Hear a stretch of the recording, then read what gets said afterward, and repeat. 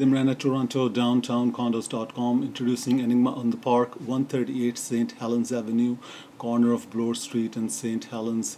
10 story tall, solid loft structure, double glazed windows throughout the exterior, 9 to 10 to 12 foot ceilings, wide lot, extremely nicely done lofts that are talk of the town. Lansdowne and Bloor Street area, a miracle of Toronto downtown with parks and recreation all around. Wonderful location, minutes to subway.